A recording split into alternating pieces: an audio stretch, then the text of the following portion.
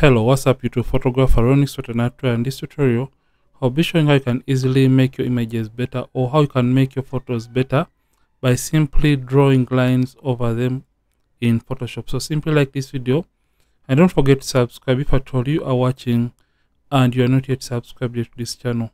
So simply do me that favor. So right now I'm using Photoshop 2025 and this is the latest version of Photoshop.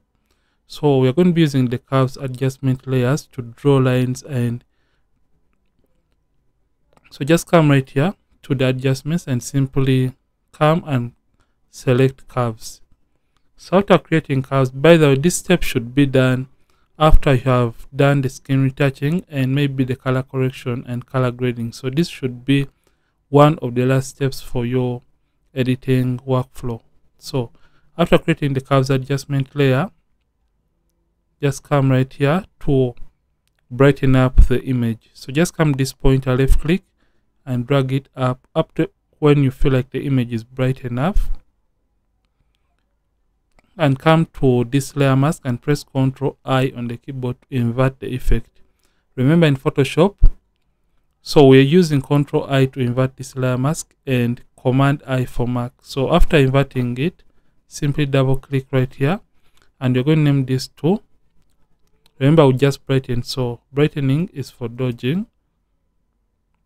And you're going to do the same for the dark area. So just come back and create one more curves adjustment layer right there and simply drag this pointer on the left hand side and drag it in just like that.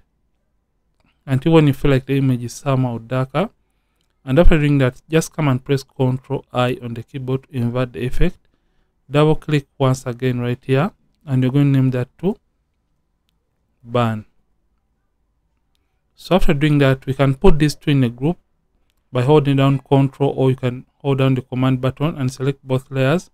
Then dragging these layers left click and hold down and drag them to a folder. And you can rename that folder to dodge and burn so after doing that the next thing is going to be click on this drop down arrow to open up this or the group and come to the dodge layer. Remember when we are dodging we are basically enhancing the highlights and when we are burning we are enhancing the shadows. So this step for drawing lines on the image is for creating shape or dimension to the photo that you're trying to edit. So i'm just going to come to the dodge layer mask right here and make sure the layer mask is selected. Then we are going to come to the brushes here and make sure we have selected the brush tool. And for settings make sure the hardness is set to 0 and soft round brush is selected.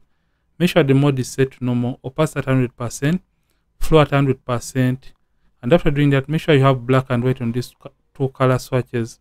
So if at all you have any other random color apart from black and white you can reset by left clicking on these two tiny swatches right there.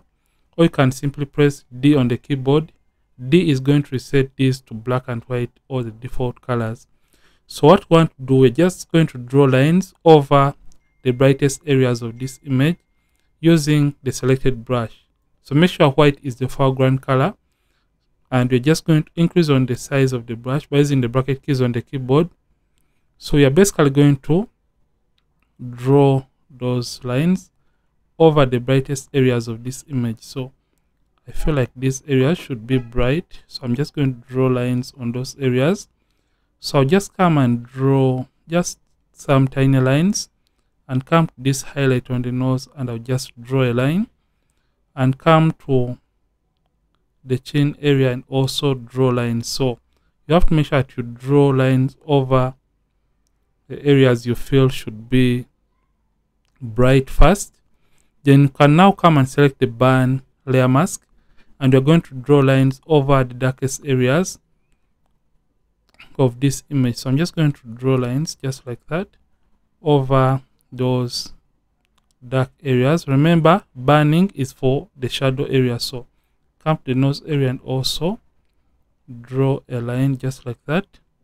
So you can as well come and burn these areas just like that. And also come and burn this area so take your time as you're doing this. So we could as well come and brighten up this area of the neck and brighten there and also brighten this collarbone. And you can also as well darken that and darken that area. So after doing that you may see that we haven't done enough. So with this layer mask selected you can see that we have the properties window opened right here so if at all the properties is not displaying just come and make sure window and come and select the properties option make sure it is checked. So come to right here where you can see this is for the curves and this is for the the, the masks. So with the density at 100% just come to feather and when you try you left click and drag this feathering option. You can notice that as you're dragging it up the effect is blending into the image so i'm just going to take it up and i'm going to do the same for the dodge come to the feather and also take up the feathering until when I feel like the effect is blending well and better into the image. So if at all you feel like you have overdone the burn, can come and take down the feathering slightly. So this is what we have right now. Right now you may not be seeing the effect in real time, but when we close the overall group and we turn this on and off before, after, before, after, you can see how nice the image has turned out to be. And it looks better than it was initially before. So this is the before after before after. So this technique of dodging and burning tends to create a better look and a more defined look by creating or adding shape or, or dimension to the image. So when you feel like the effect is too much for your liking you can come to these individual layers and also turn down the opacity of every individual layer to your liking.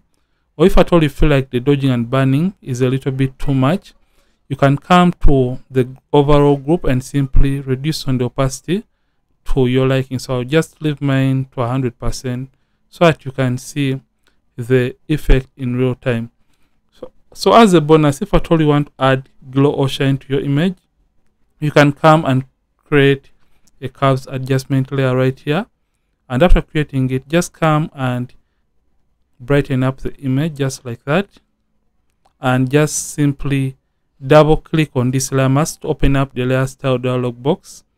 And after doing that make sure the blend if is set to gray opacity at 100% and fill opacity also to 100 just come to the underlying layer and left click and hold down and drag this away from the shadow areas and make sure it is only the brightest areas that are affected by the effect. So when you feel like the effect is a little bit too harsh, hold down the option key on the keyboard or you can hold down the, the alternate key on the keyboard for Windows and split this so that the effect can blend better into uh, the image. And just come and click OK. Select the white layer mask and simply press Ctrl I on the keyboard to invert the effect. So with the white brush, we can reveal the glow or shine onto the model skin. So I'm just going to come and paint just like that. You can see right now the model skin is looking better and now it is glowing. So I'll show you the overall before and after for this kind of image and how we have been able to transform it. So this was the image before and this is the after before after. So by just drawing lines and also adding that tiny, tiny glow to the image, we have made the image look better than it was before, before, after. So this is how you can draw lines on your images to make them look better in Photoshop. And if at all you have enjoyed this, simply like this video. And don't forget to subscribe if at all you are watching and you are not yet subscribed to this channel. Ronnix from Ronnix Photography.